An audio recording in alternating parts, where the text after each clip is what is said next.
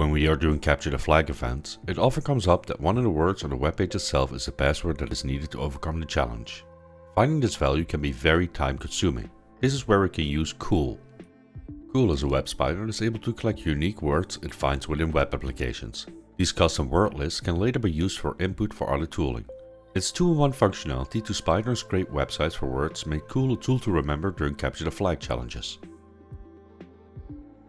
In this video we will explain how to use CeWL to create word lists from websites. We will show you how to use basic and advanced flags to get the word lists you need.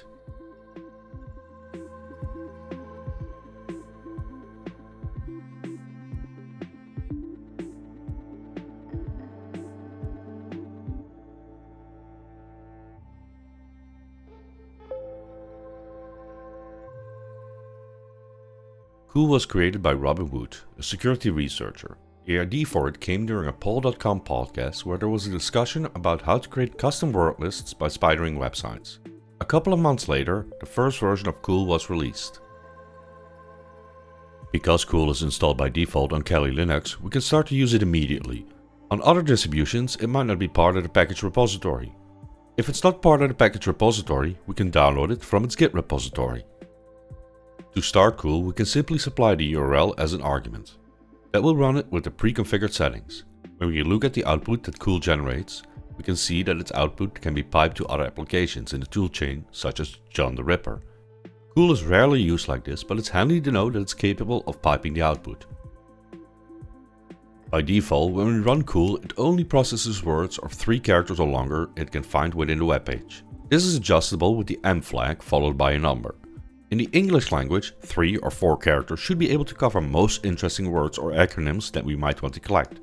Be aware that other languages, three characters might be too short to cover most words. The average word size for other languages can be easily found with a search online. The with numbers flag enables collections of words that contain numbers. This means that numbers are also counted as letters and are recorded by CeWL.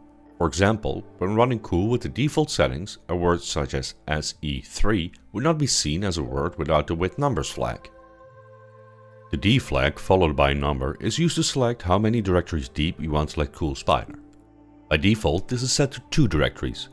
While setting it to a larger value will make a more complete crawl, it also increases the time that it takes to run. Modern web applications most likely have a directory structure larger than 2 directories deep, so a balance needs to be found between time and completeness. It can be required to change a user agent. We can do this with the U flag followed by a string. The user agent contains information about the browser we are using. Some websites display different information based on the browser that is used. For example, mobile web pages often have different information than the default non-mobile page or when using Internet Explorer since it renders web pages differently.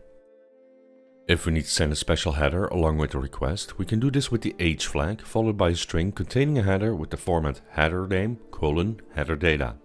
This is common when needing to send cookies or other session information along with the request, but can also be required by bug bounty programs so that bug bounty hunters can be tracked easily within the client network.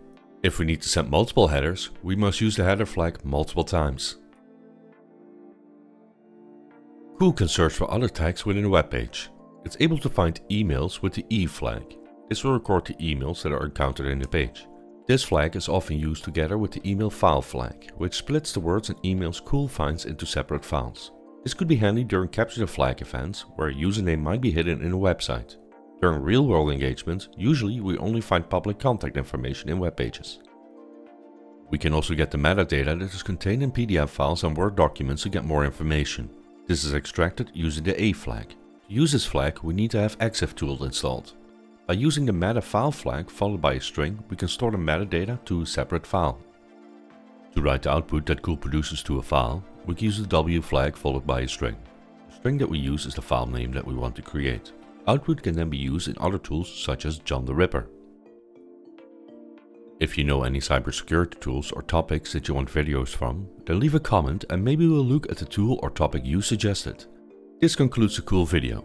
If you learned anything, please leave a like, comment or subscribe. It would really help us in the YouTube algorithm.